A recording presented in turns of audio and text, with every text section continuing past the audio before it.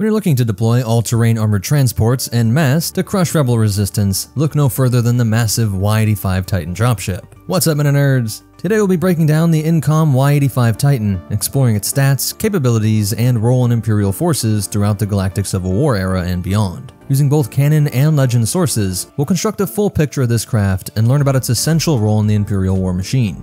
The IMP's deployment of massive war machines such as the all-terrain armored transport and its myriad variants required an equally massive transport dropship to shuttle these armored behemoths from orbit to planetside.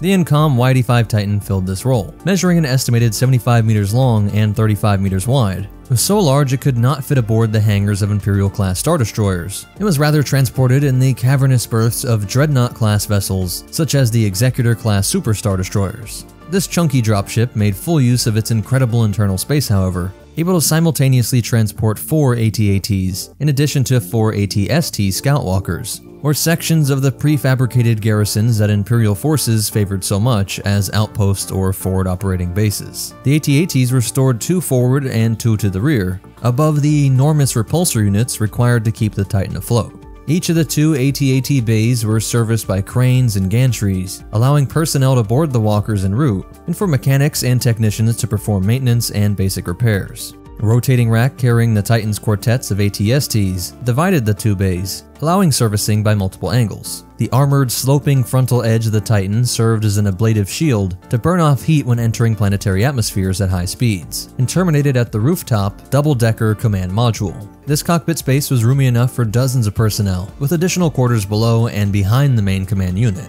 The rear deck of the Titan, like the Separatist multi-troop transport, was covered with exhaust vents to redirect the enormous heat signatures generated by such large repulsor units. In battle, Titans would be escorted by TIE fighters and dropped into zones with minimal resistance in order to safeguard their valuable cargo. But as a last resort, the Titan was armed with two twin heavy laser cannons, which is an enormous armament, an order of magnitude larger than the AT-AT's main guns. Again, much like the MTT, these guns were semi-fixed and locked in the forward position, indicating that their use is more for destruction of buildings, fortifications, and terrain features than nimble enemy fighters or vehicles. With its all-around ablative shielding, the Titan resembled more a flying bunker than a dropship, with even the command module's screen protected by thick, armored shutters.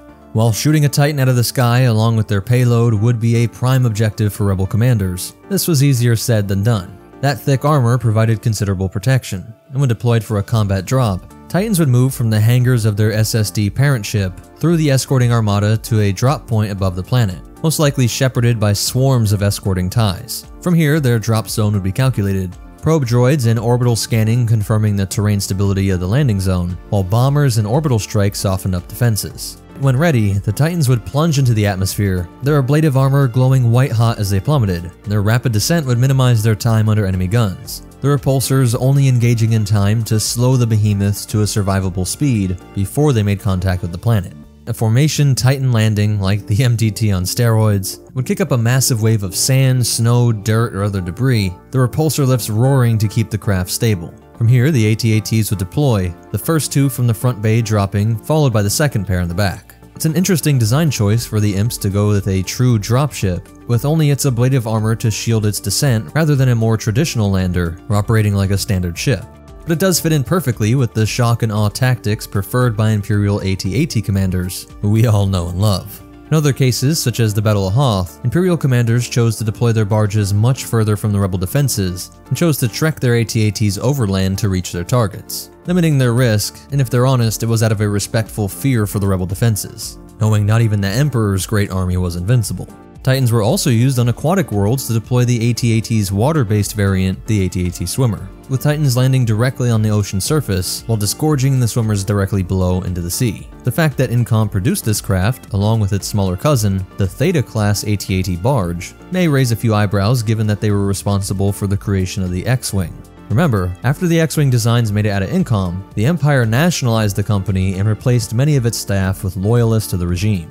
Sadly, Incom products became known for their mediocrity, nothing exceptional, just enough to perform to standard, while the Y85 may be the largest product to ever come from Incom's yards. The size I gave is based on the AT-ATs. There's no official number, but like I said it must be about 75 meters long, 35 wide, and about 40 meters tall, making its footprint not much smaller than a full American football field, or more than three basketball courts in size, and equal to the height of about a 13 story building. With those dimensions, it's no surprise the Titan could only fit aboard dreadnought-sized Imperial warships, being much too large for Imperial Star Destroyer hangars. Of the most serious planetary engagements during the Imperial War would call for a quads of AT-ATs, along with their Super Star Destroyer support, at which point a rebel could only hope for a noble and quick death. An Executor class Super Star Destroyer's complement of 30 AT-ATs could be deployed in one wave by just 8 of these barges, so that's it for the breakdown, and as for behind the scenes facts, the Imperial class Star Destroyer was originally supposed to be able to carry 12 of these barges before author Curtis Saxton realized the ridiculous size implications of this, and the Theta class was created to hold 1 to 2 AT-ATs aboard,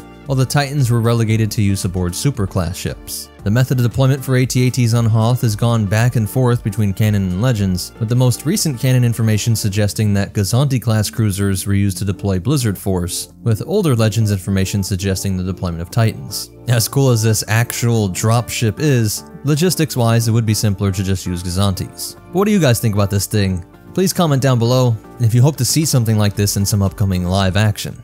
But let's thank our sponsor Morgan & Morgan, America's largest injury law firm. In 2020, there were 5 million crashes reported. That's 15,000 a day, or 600 an hour. And most people think it's just too complicated to get a lawyer to represent them. Morgan & Morgan wants to change that, modernizing the profession and bringing it into the 21st century. If you get their app, you can submit a claim in 8 steps or less, all from the comfort of your couch.